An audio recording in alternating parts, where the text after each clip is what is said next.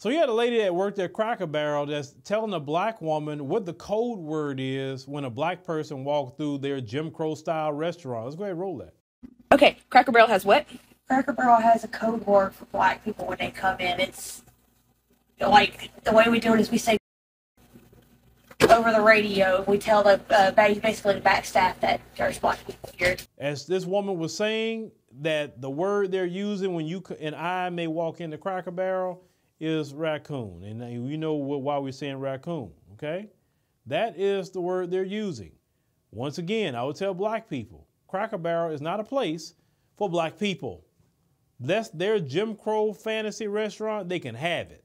I'm a firm believer that. The only thing I'm not going to do is beg somebody to be in their restaurant and let, because they got to think about this, y'all. They're cooking your food, okay? Because some people like, oh, we should be able to go. No, no, no, no, no, no. When it comes to cooking my food, you could poison me, okay? You can put anything in my food. You can put crushed glass in my food. I'm eating this food and I'm ingesting cr- crushed glass. It's some of the things they could do to your food.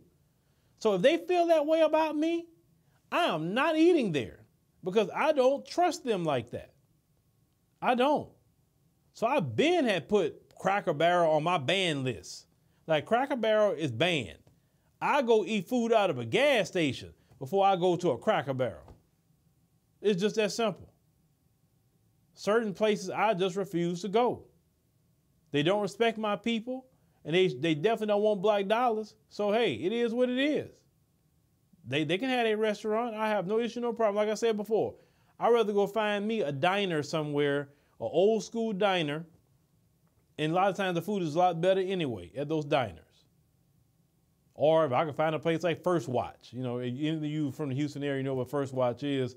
A lot of healthy choices at First Watch. I'd rather go there and eat instead of eating some frequent Cracker Barrel and all that chemical mess in their food anyway. Y'all let me know what y'all think of this woman is saying. Shout out to her. I appreciate her saying this because we need, listen, we need more white people out there that's going to tell the truth. Any white person is going to tell the truth about white supremacy, you all right with me. You always can have a, we always can have a conversation because at least you're being honest about white supremacy.